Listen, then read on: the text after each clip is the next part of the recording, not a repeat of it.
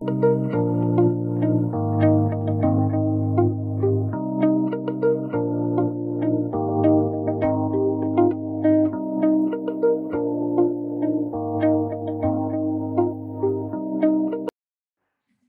everyone, uh, greetings of the day. This is a five-part hematology analyzer. The model name is CBC 560 Plus with RFID system. Now we will see uh, the accessories comes along with the instrument. Diluent 20 liter, LH lyse uh, 500 ml, LD lyse 500 ml, probe cleaner uh, 50 ml, two fuse for the power safety, power cord, vest tubings uh, and the diluent tubing, liquid vest container, user manual along with the warranty card and installation reports. This is the backside of the instrument. We have a 4 USB connection for the keyboard and mouse connection, LAN connection, diluent tube connection, west, conne uh, vest tube connection with the west sensor, power cord connection and on off switch. Now we will connect all the tubing connections and the power cord connection and we will switch on the instrument.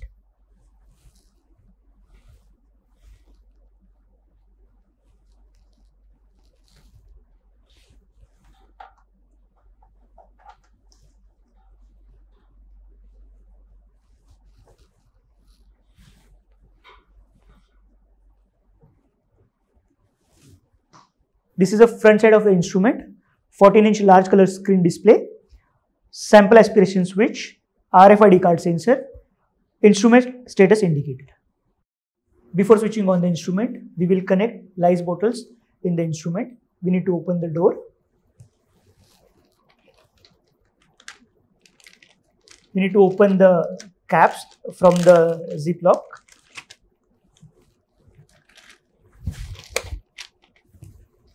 Green color bottle is LD lyse.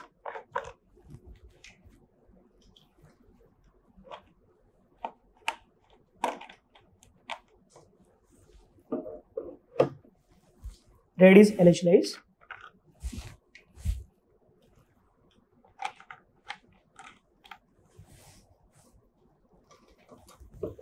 After placing the lysers, uh, we need to uh, off the door. Now we will switch on the instrument.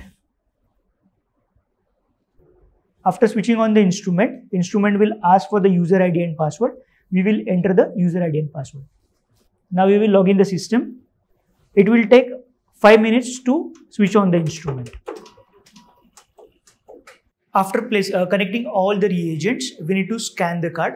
Step to scan the card, go to the menu, service, maintenance, replace reagent. For the diluent, press diluent. Uh, put the expiry date.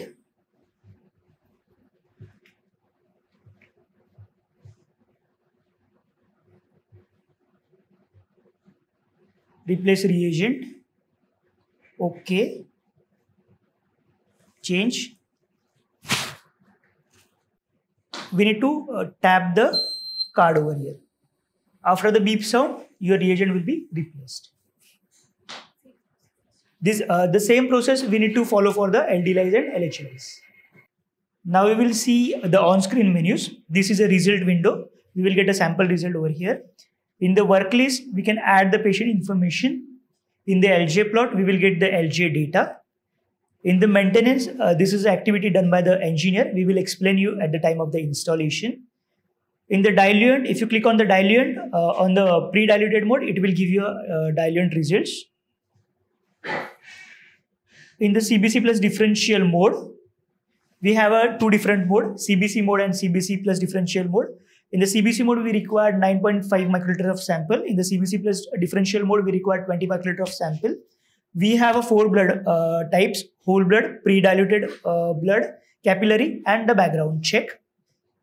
In the print, we can uh, give a print from the here to the printer. In the exit, we can exit to the screen. Now we will see the lower bottom features. If any error comes, uh, it will indicate it in the bottom side and it will indicate it in a red color. In, uh, here you will get a reagent status, how many reagent is remaining. LIS, if LIS is connected, this mode is activated and in the date and time, you will get a current date and time information. For the hematology analyzer, we require fresh EDTA whole blood sample. It should be mixed properly and we need to run in the instrument. Now we'll start the sample running process. Before running the sample, uh, we need to mix the sample properly. Place the tube under the probe and we need to press the switch for the sample result. It will aspirate the sample and after 16 seconds we will get a result. After 60 seconds we will get a result on a screen. Uh, in the left hand side we will get a sample information and a patient information. Here we will get a WBC and 5R differential counts, RBC and the indices, platelet and indices. Here we will get a graphical uh, information about the result. Here we will get a flags or error related to the sample informations.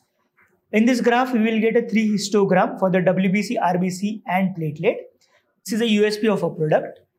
In, this is 3D 360 degree rotatable scattergram. Here we will get exact information of a five part differential counts and we can check the cells population in this screen. After getting a result, if customer want to print, we need to connect an external printer. After connecting an external printer, we will click on a print button. It will automatically print the data. If we want to send a data through the LIS, we need to collect on a, we need to press a COM button. So it will say, uh, transfer the data to the system. If we want to check the patient information or the list of the patient, we need to cl uh, click on a patient list, then select your patient ID and you will get a patient information with the graphical representation. To switch off the analyzer, we need to go to the exit, shut down analyzer, OK, now it will maintain, uh, it will show the message. Then we need to aspirate the probe cleaner, introduce the probe cleaner to the probe and press the button.